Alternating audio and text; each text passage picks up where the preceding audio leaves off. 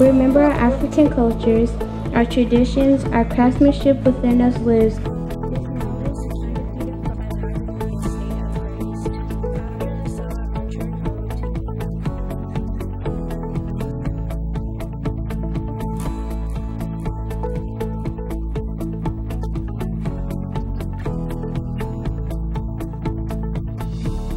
We will never lose hope that we will one day live free. I believe these thoughts into dream paths of freedom.